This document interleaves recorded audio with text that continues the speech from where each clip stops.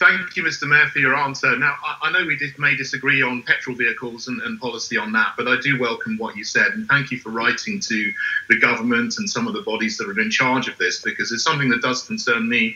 Particularly, a couple of things that were in the report were the use of child slave labour to mine cobalt in Congo.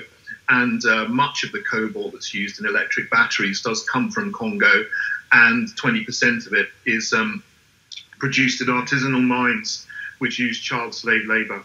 And you know, I, I do welcome the fact that you say you're going to make sure, and you have made sure that TFL doesn't procure any vehicles um, using um, cobalt or lithium, which is um, sourced unethically. But if you are aiming uh, to uh, ensure that uh, all vehicles, all new vehicles in London are electric by 2030, I don't personally agree with that as an aim, but that's what you say you want to do. How are you going to make sure that vehicles outside TFL do not use child slave labour uh, to mine cobalt and do not take lithium from the area in Chile? Uh, where most lithium is produced, that takes up um, huge amounts of water and has displaced uh, local subsistence farmers from that area. Can, can, I just say, Chair, through you, that I, I, agree with a lot of what's been said. And actually, this is a good example where, where we can work together and there are things we, we, we, share we share common ground with. So one of the reasons, uh, Senator Member Kurten, why I've written to the government is see if the government and CEMA can work together because you're right.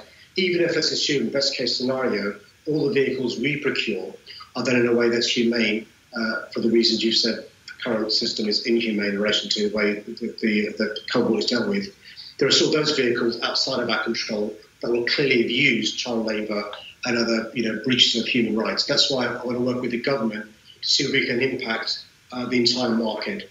Uh, and that's why I'm saying, for example, are there strings we can attach to government bailouts in relation to the automotive industries? And are there, other, there are other things we can do? Some of it, I suspect, will be cross-border, working with uh, you know, countries across Europe and across the world.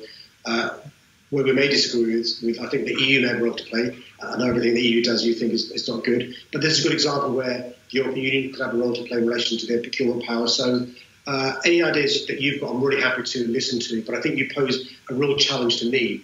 How can you, on the one hand, say you're ethical electric vehicles and other reasons why it's good, but on the other hand, the source of these batteries is one that's inhumane, and that's why working with you and others, I think we're going to address this uh, this issue seriously and take it seriously. Okay, thank you very much, Mr. Mayor.